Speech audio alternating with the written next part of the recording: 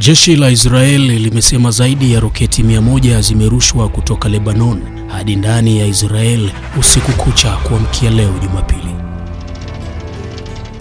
Taarifa ya jeshi hilo imesema baadhi ya makombora yalinaswa na makombora yaliyoanguka yalitambuliwa katika maeneo ya Kiryat Bialik, Sur Shalom na Morshet, huku video kwenye vyombo vya habari vya Israel zikionyesha magari yakiteketea kwa moto kwenye kona ya barabara katika mji wa kaskazini wa Kiryat Bialik.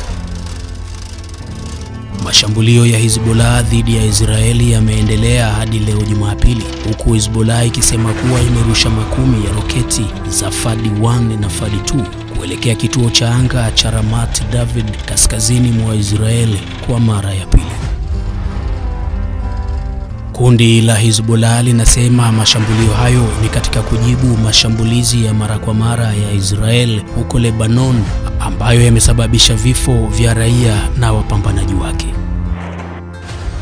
Hezbollah pia imesema imelenga kampuni ya teknolojia ya kijeshi ya Israel ya Rafael yenye makao yake makuu katika eneo la Haifa kaskazini mwa Israel.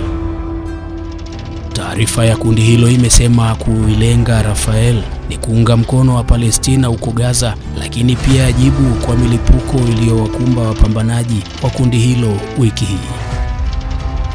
Hata hivyo, kampuni hiyo bado haijatoa maoni yake kuhusu shambulio hilo lililodaiwa kufanywa na kundi la Hezbollah. Wakati huo huo, ndege vita za jeshi la Israeli zimefanya mashambulio zaidi ya mia tatu ya anga katika maeneo mengi mashariki na kusini mwa Lebanon katika muda wa saa 24 zilizopita. Msemaji wa jeshi la Israeli amesema kuwa mashambulizi hayo yalikuja baada ya mipango kugunduliwa kwa shambulio la Hezbollah.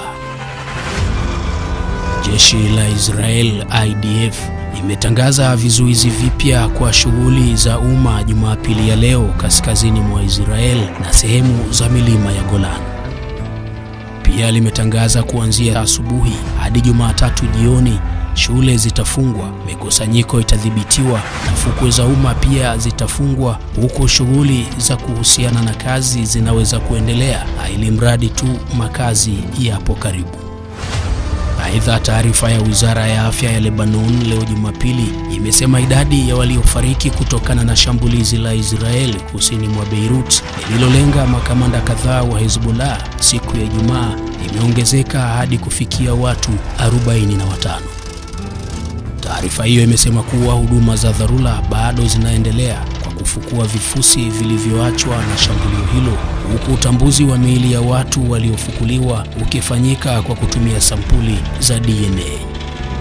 Huku kukiwa na mpambano huu, waziri mkuu wa Israel Benjamin Netanyahu ameamua kuchelewesha safari yake ya kuelekea jijini New York kwa ajili ya mkutano wa Umoja wa Mataifa, huku kukiwa na mvutano unaoongezeka baina ya Israel na Hezbollah. Mujibu wa taarifa ya ofisi yake, waziri mkuu huyo alikuwa tayari amesogeza mbele safari yake kutoka Jumanne hadi Jumatano, lakini kwa sasa anapanga kuondoka siku ya Ijumaa.